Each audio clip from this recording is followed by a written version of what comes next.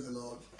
Uh, welcome to uh, today's daily walk, uh, the 26th of May 2020.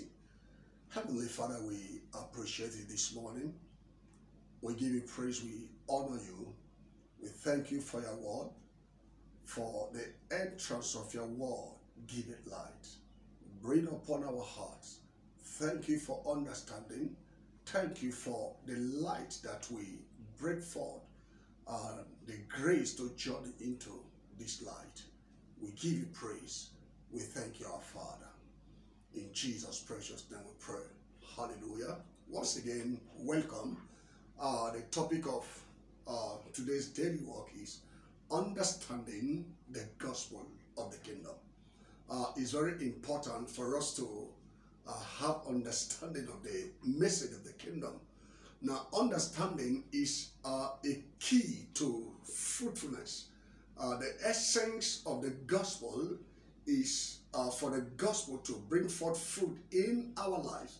So when we don't understand the gospel and the teachings of Christ, uh, there would not be understanding. Our text message today is in Hebrew chapter 1, verse 3. Uh, Hebrew chapter 1, verse 3 was talking about uh, Jesus being the brightness of God's glory and the express image of the Father. So, which means Jesus is the brightness of the glory. Jesus is the express image of God. He is the express image of God. Uh, the meditation scripture is uh, is Colossians chapter 1, verse 19. For it pleased the Father, it pleased the Father that in Christ should all fullness dwell. Now, the fullness we're talking about is the fullness of God. That in Christ will all the fullness of God dwell. Uh, so, the gospel of the kingdom, like we said, is the message of our Lord Jesus Christ. So, there was a message that Jesus was, was teaching. Uh, if you check the uh, Bible, all that Jesus has been teaching, the gospel of the kingdom, the gospel of the kingdom, the gospel of the kingdom is like this, is like that, is so I went so. So all this emphasis was the kingdom of God. Uh, so the gospel of the kingdom, it is the proclamation of the eternal realities of the kingdom of God on earth. Now the bringing the realities in heaven upon the earth. Like Jesus said, uh, thy kingdom come upon the earth. In other words, the life of the kingdom, the civilization, everything about the kingdom, the way it operates in heaven, now let it be here upon uh, the earth. Praise God. So, in a simple definition, in a simple definition, we could say that the, we could say that the gospel of the kingdom is a redemptive love message. It's a redemptive love message uh, that gears towards restoration of creation, uh, to restore creation from depravity, which is the fallen nature now, because humanity fell in Adam, and in Christ, our humanity is to be restored to the to the image and the likeness of God, which is the essence of the gospel of the kingdom. So it's a, a restoration of creation from depravity to God's eternal blueprint. Now, in the scale of divinity, so that restoration is not completed until man come to full divinity. Now, embedded with the power for proclamation of God's reign of righteousness. Now, the gospel of the kingdom is the power of God unto salvation. It is that power that will bring us to the righteous, you know, reign of God and endless life upon creation. Now, activation and complete realization of divine functionality. Praise God. So, uh, a complete realization of divine functionality. So, until we begin to see men walk like Christ, walk in divinity, we have not realized, you know, you know what the gospel of the kingdom is meant for. Now, John chapter 2, verse 6 said, He that said he abided in him ought himself to walk even as Jesus walked. That's the exact functionality or realization of divine functionality. So we are to function like Jesus. We are to walk like Jesus.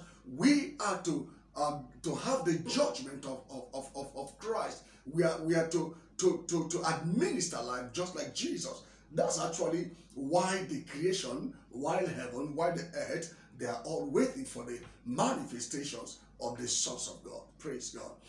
Now, it is a message of righteousness. It is the message, it is the unfolding of the life and the faith of the Son of God. It is a message that is geared to us, uh, uh, uh, the ushering of divine order of life is to bring divine order of life upon the earth. Now, right now, what we're seeing everywhere is chaos, anarchy, lawlessness. But what God desires is, is, is, is, a, is a divine order of life, civilization, and immortality, immortal life upon creation. So the gospel of the kingdom is the unveiling of the life of God that will translate men, men uh, to Christ. Just to change man from uh, ordinary man, from flesh, to become Christ. So that's that's that's what the gospel of the kingdom is set for to uh, to, to to achieve. Hallelujah. So the gospel of the kingdom is all about uh, the life and the kingdom of God. It is all about our Lord Jesus Christ. For it pleases the Father that all the fullness of God should dwell should dwell in God. Hallelujah. All the fullness of God should dwell in Christ Jesus. The God of the kingdom seek to establish righteous nature of God and the will of God in man and uh, over the entire creation. So until this is realized, we have not seen the dividend of the gospel of the kingdom. So most of the teachings and the, the, the, the, the messages men are preaching are not aligning uh, uh, to realize this end. That's why in the time and in the season we are, praise God, we must embrace, we must have understanding of the gospel of the kingdom. Praise God.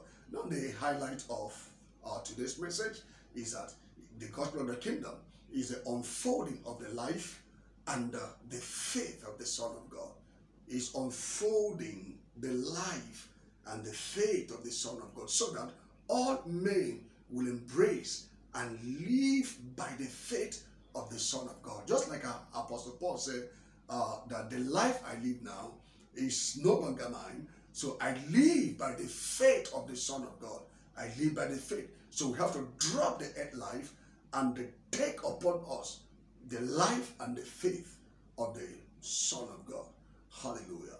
So we, we are yielding ourselves uh, to the gospel of Christ. We are trusting the Lord uh, for grace, for mercy, to yield to the life of the kingdom, uh, to his power and his glory in the name of Jesus. Benediction for the day. I pray that the Lord will uh, favor your righteous cause. All that you set forth your hands and your hearts to do this day. It's my prayer that the Lord will favor it.